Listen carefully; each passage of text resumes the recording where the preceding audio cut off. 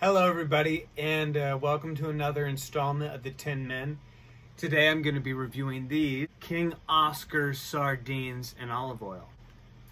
This is how I buy. You can get these in mustard, tomato. The options are limitless. Personally, I just enjoy olive oil. They're a nutritious snack that I could recommend to just about anyone. Premium quality King Oscar bristling sardines have always been wild caught, lightly wood smoked and hand packed for generations, a Norwegian tradition since 1902. Personal favorite of mine, and um, as always, let's just dig in. See what bounty before us the king has prepared. Simple tin, as always.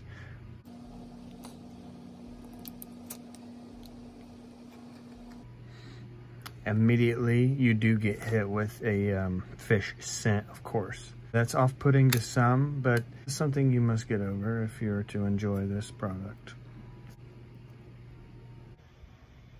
Very clean tasting, in my opinion. You can really taste the difference in these babies. I just like to dig in. Don't use the mangled fork technique. Small jab at Luther. These things are 230 calories, 16 grams of protein per serving, zero sugar, zero carb, and 100% good for you. These are tasty. And yes, they do have noticeable fragrance. They actually taste very clean. It's almost like tuna. One of my favorite parts about the fish. I just eat one can and I'm good. These things are just a great snack. Camping, you know, long road trips.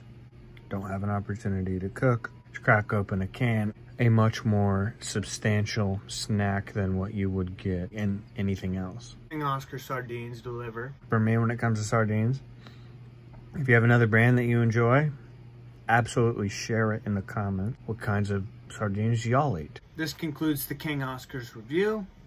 We're gonna have some more content coming your way. We appreciate the love that's been shown to the channel so far. We're gonna deliver. I'd like to wish you guys a happy day, rest of your day or night.